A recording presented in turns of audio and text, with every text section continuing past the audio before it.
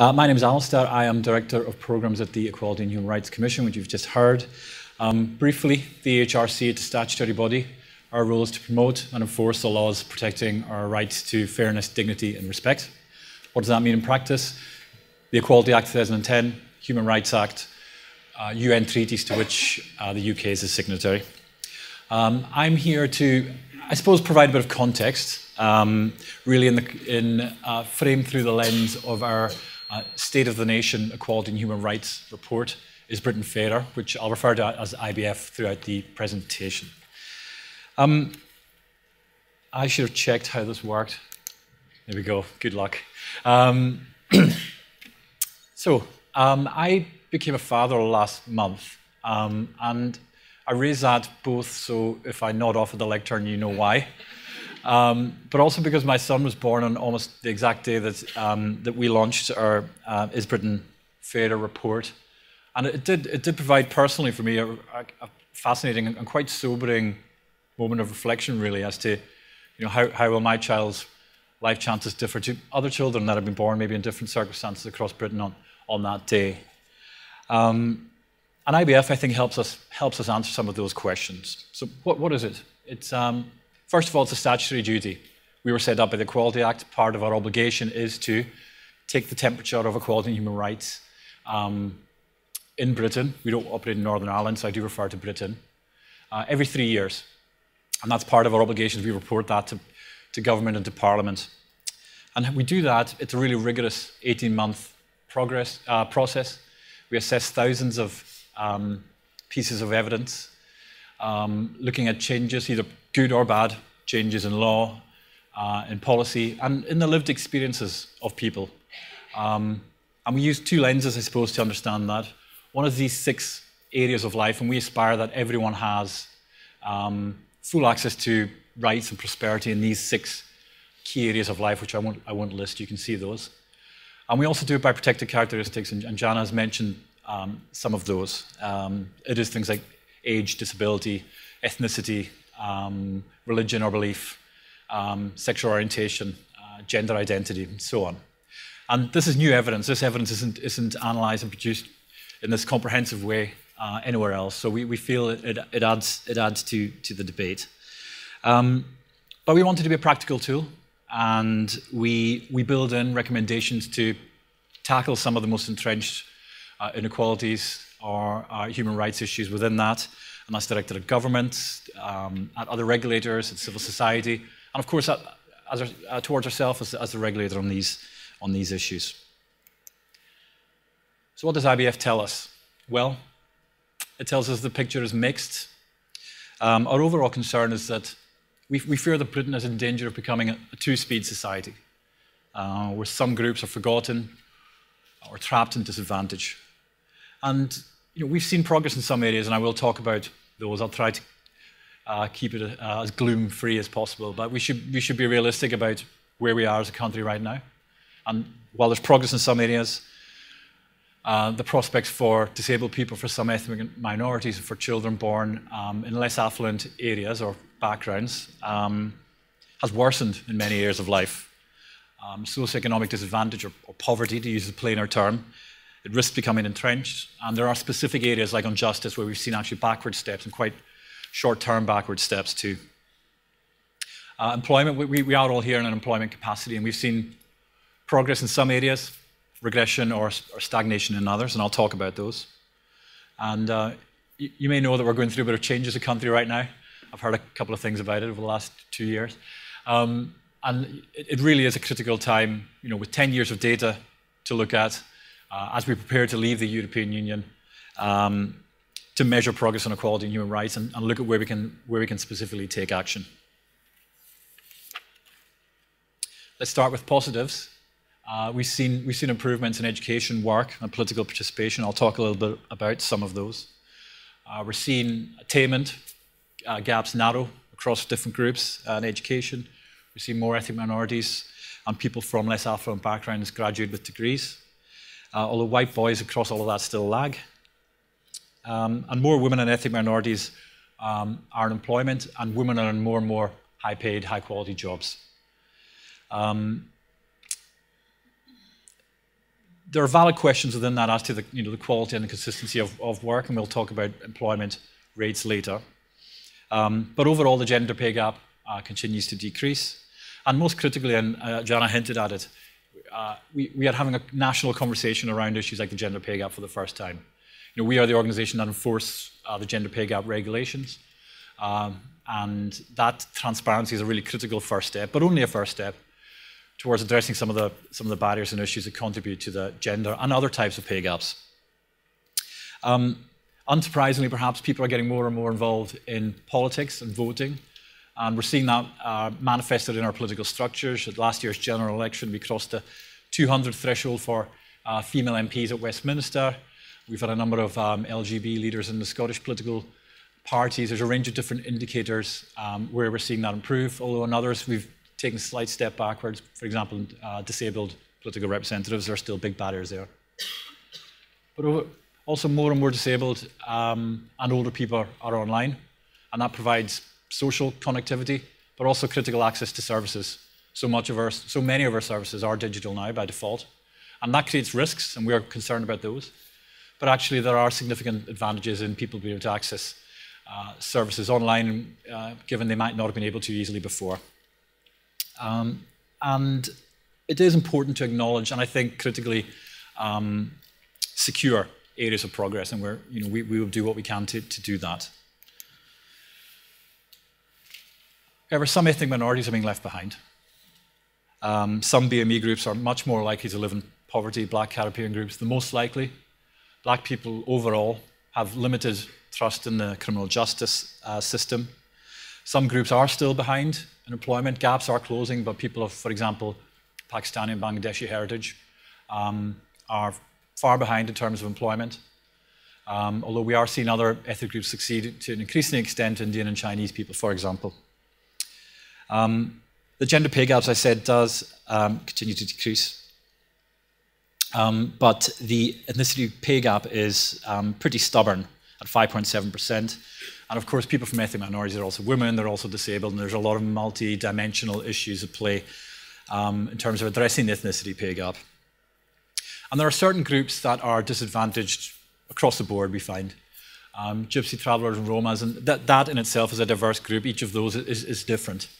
Um, but we are seeing that group, if we, if we categorize it that way, as being uh, excluded in almost every aspect of life. Lower attainment in schools, three times more likely to be excluded from schools than white children. Um, less access to health, poor access to quality accommodation. Um, so there are specific groups that we, we worry are breaking off, becoming that, you know, the, uh, the less advantaged group in that two-speed society I talked about. Um, so th there's lots to do, but we, are, we have welcomed specific government initiatives to look at these issues in the round as they impact certain ethnic groups. For example, we've been supportive of the government's uh, race disparity unit and some of the thinking it's been doing in a kind of holistic way on some of these barriers faced by different ethnic minorities. Disabled people still face barriers throughout their life, um, starting from school. Um, they're much more likely to be excluded from education, particularly children with learning disabilities, autism, and other conditions. Uh, and that has a knock on effect throughout life. Um, disabled people are less likely to be employed. If they are employed, it's less likely to be good quality, full time, well paid work. All of that contributes to a pretty high disability pay gap um, of 13.6%. Exacerbated then if that disabled person is a woman, an ethnic minority. Again, that intersectionality is so critical in understanding the causes and the solutions to some of these issues. Disabled people are more likely to be in poverty, face poorer health, and as a large inquiry undertaken by the Commission has shown, really find increasing challenges in accessing um, good quality, appropriate housing. Um, so again, we support action on this clearly, and we've made a number of specific recommendations. One of those is the government's ambitious target to get one more, one million more disabled people into work over the next uh, decade, and that will be crucial in terms of closing some of these gaps in terms of um, socioeconomic disadvantage, for example. Poverty, We've, we refer to as living standards, but really that's what it's about. Um, it's risk becoming entrenched for some, particularly for the one in five people who in 2016 in Britain lived in poverty. Uh, last week's report by the UN Special Rapporteur on Poverty, whether one agrees with how it was framed or not, and I know there's some debate about that right now, but it does make for sobering reading uh, and listening, and our evidence does support that. Um, child poverty is increasing. Um, three in 10 children live in poverty in the UK. We estimate at the Commission that that figure will rise by 1.5 million in the next five years. And maybe most startlingly and alarmingly, infant mortality is increasing. And you can see in this chart that it's, that's not a uniform increase. That does vary quite significantly according to one's ethnicity or one's socioeconomic uh, status as well. We have other concerns related to poverty, particularly welfare reform. We feel that it disproportionately impacts um, the most marginalised in society, and we are concerned about that safety net being gradually torn away. Um, and you can see by walking on any British street, I think, that, that homelessness is on the rise. And I saw this morning Shelter has released some new figures on that. I think they estimate that 320,000 people are now homeless in the UK. They, they consider that a conservative estimate, uh, given the hidden homeless crisis. Um, but we, we do see that in our evidence and do see it as a cause uh, for concern too. Justice and personal security is one area that I mentioned has specifically and quite quickly regressed since our last report in 2015. That manifests in a couple of ways. Uh, one is on access to justice. When, when our rights are breached, how, how do we, or we're a victim of a crime, how do we uh, seek redress? And that's a, a critical human right. Uh, we think it's restricted, increasingly so by, for example, the modernisation of courts, and particularly by cuts to legal aid, which really puts a, a price tag on access to justice and one that a lot of people aren't able, aren't able to meet or to afford. And then there's um, specific increases in risks to personal security, um, spikes in specific types of crime that disproportionately impact people who share some protected characteristics. Um, hate crime, for example, uh, ethnic minorities, disabled people, trans people uh, are much more likely to experience that, and we have seen spikes, including around specific political events such as the uh, Brexit referendum. Um, ditto, uh, sexual and domestic violence, much more likely to be experienced by women. Um, and more broadly, we're seeing deteriorating uh, conditions in detention, and black people still overrepresented in prison. And for example, 54% of black Caribbean adults uh, declare a lack of trust in uh, the criminal justice system. That compares to 68% overall. So quite a significant uh, difference there that's, that's borne out by, by experiences and by statistics. Um, and we remain, Britain, or the UK in this case, remains the only country in the EU that um, has indefinite uh, immigration detention as well. And we're calling for, for a change to that in line with the rest of, of the UK as well. We think, we think that's not sustainable or, or, or necessary. So we are all here in uh, a work capacity. What does all this mean for, for the workplace? Um, as I mentioned, overall, um, employment is up and gaps are narrowing. There are valid debates about the uh, security and the quality and the permanence of that employment, but overall, gaps um, um, are narrowing and the gig economy has advantages for some in terms of flexibility for catering and for other reasons as well. So it's an important debate and one that needs to be held. But we are seeing gaps um, reducing, and that has a particular uh, impact for some ethnic groups. For example, I talked about people of Pakistani, uh, Bangladeshi uh, heritage, and uh, Black British people as well. And we're seeing on charts to the right that those gaps are, are, um, are narrowing quite substantially. And I mentioned as well that women are increasingly in higher paid, better quality um, occupations, and that has significant implications for gender and other pay gaps. That said, uh, we've taken a particular interest at the Commission at, at, women's experience in the workplace, and we find that significant barriers persist. More women graduate than young men with better degrees. Uh, there's more women in work and better quality work than ever before, but these barriers are stubborn and they do still exist. Um, We've done a big piece of work on sexual harassment in the workplace recently, particularly how to prevent and respond to it. And you can see some of the quotes here, some of the testimony from some of the women and men, but mostly women, um, gave in response to our survey. And some of those might ring bells for anyone who's, who's experienced this or knows someone who has. Um, and we, we, found that half of, half of the women we surveyed had experienced some form of sexual harassment in the workplace. It's particularly pronounced in some types of work, like agency work, for example, uh, the President's Club, uh, where we took legal action, um, is, is, a good example of, of that. Uh, and that, that, you know, that ultimately often results in women leaving that job, taking a step backwards or a sideways step in their career and contributing again to a lack of progression or security in the workplace for women and some men. We find as well in our own research that one in nine women report uh, pregnancy and maternity discrimination. Um, that may be on the basis of nothing more than being a 30 year old woman who doesn't have children. And that is built into the process from recruitment, people telling recruitment agencies not to bring women of that age forward to shortlist, right away through to when a woman becomes pregnant or has a child, and the, the myriad forms of, of, discrimination they experience in terms of their own progression uh, and treatment in the workplace as well. And that remains, that motherhood penalty remains really significant. And you can see in the research that that is when the gender pay gap starts to really broaden. Throughout uh, the 20s, it's quite narrow, especially in professional occupations. Once, once people hit around 30, for this reason, the, the, the, uh, the gap explodes. And, you know, pregnancy maternity discrimination um, is a really key um, contributor to that and a driver. Women remain underrepresented in uh, STEM subjects in science, technology, engineering, and maths, in STEM apprenticeships, and we know that those provide you know, a critical first step to good quality, well paid professional and other types of careers as well, largely down to stereotyping and to communications. Um, and we see that as a huge, as a huge, um, a huge barrier. All of this contributes to the gender pay gap, which I think is a, is a useful way of framing a range of different debates. It's an important uh, issue in itself, but actually it speaks to a number of different issues, like some of these that I've identified. That remains 17.9%. The full-time gap is narrowing.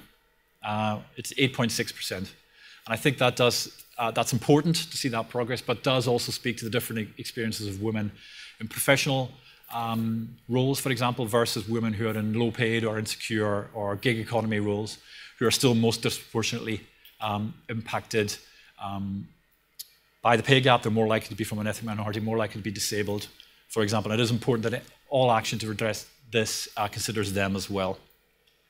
And we, we did welcome the announcement from the government yesterday that more money and more energy from its own government uh, qualities team is going to be focused on women in lower paid, lower skilled uh, roles, which is, which is so important.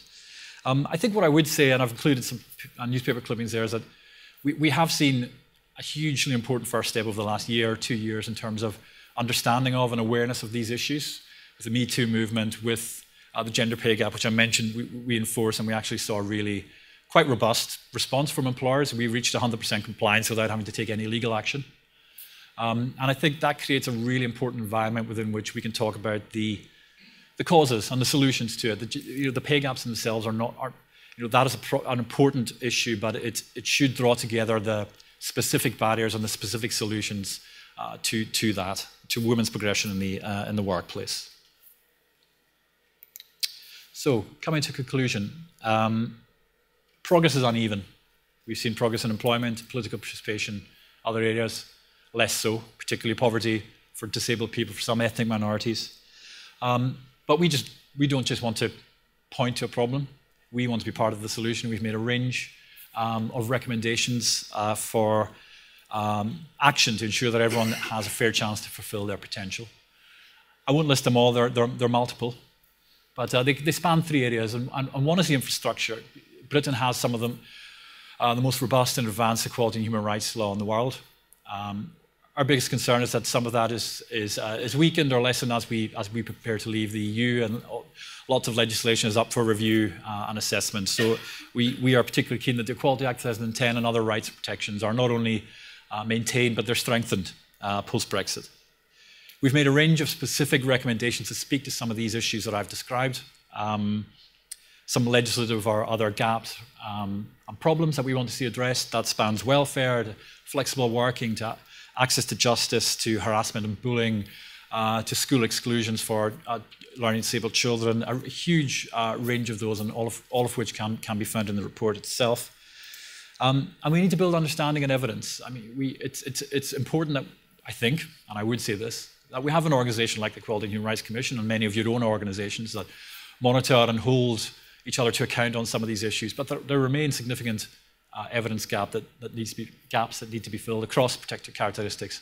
And that framing is a really important one because um, people don't experience um, one of these areas of life. They, of course, experience them all. And that, that multidimensional, complex uh, experience is a really important thing to understand to begin to find uh, solutions. And we think those solutions are possible. We've, we've recommended a number. We want to work in partnership with government, with youth organizations, with other regulators um, to move that forward and we all have roles to play. Thank you.